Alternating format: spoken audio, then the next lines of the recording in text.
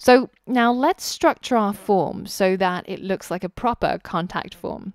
So let's again add a horizontal rule to divide the top part from the bottom. And then in our form, we want a label that says your name. And then after that, we're going to get rid of this color, but we do want that line break. And then we've got a label that says password. Maybe we should ask them for your email. Maybe that'll help us get back in touch with them. And instead of password input type, we're going to change that to email. And to do that, I have to use something that's not actually an input. Instead, it's an HTML element called text area. So let's add a label first and let's say your message. And text area has two attributes that are really important. One is the number of rows and the other one's the number of columns. So rows determine how tall your text area should be and columns determine how wide it should be on your web page. So I'm going to stick to maybe 10 rows and 30 columns, but if we hit save, you'll see that it's actually something that you can modify. And I'm sure you've seen these text fields all over the internet. Anywhere where you have to put in a long answer, you'll get something that looks like a box and you've got these few lines in the right corner. And what you can do is you can click and drag it to make that text field as large or as small as you want it to be. But the default or the starting position is defined by the developer. So it's looking a little bit messy. Let's add a few more line breaks so that we can space things out a little bit and make it look a little bit more appealing. All right, so that looks a little bit nicer. I know it's still very bare bones, but at least it's starting to take shape. Now, the only problem is that at the moment, when you hit the submit button, what it does is that it'll take you back to your home page.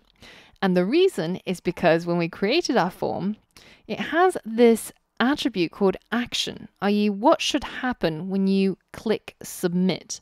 And at the moment, the action is simply take the user to the index.html page.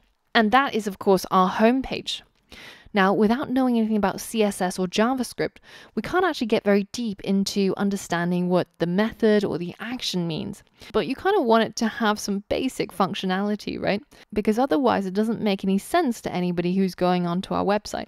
And even though this is our first website, it doesn't mean that it can't function or, or do something very simple. So what I'm going to do is I'm going to change the form action to a mail to. And what mail tos do is that when you press the submit button, they'll open up your default mail client. So that could be mail on Mac, or it might go into Gmail if you're inside Chrome. And it puts in the email address that you specify after the colon here. And the post in this case simply means that we're going to transfer what the user types into these input fields into the email client. So if we hit save, I'll show you what it looks like. So let's go to contact me and let's give my name, my email, and my message. Now, if I hit submit, you can see that it opens up my mail app and adds a little bit of text into the body of the email. Now, it's not making too much sense right now. And in order to change that, we actually have to add a little bit more to our form. So I'm going to delete this class and I'm going to add another attribute called encoding type. And this specifies, just as up here, we're specifying that our website is encoded in UTF-8. We're going to say that the data in our form is encoded in plain text. So that way, when it launches the mail app, you won't have these funny percentage signs and numbers. You'll instead just have plain text. Now, the other thing we need to add is a value to each of these name attributes, because that's going to identify the data that's inside each of these inputs. And I'll show you what I mean. So let's add the name as your name. Second one, your email. And the third one, your message. All right, let's hit save. And let's go back to our website, hit refresh, and let's try it again.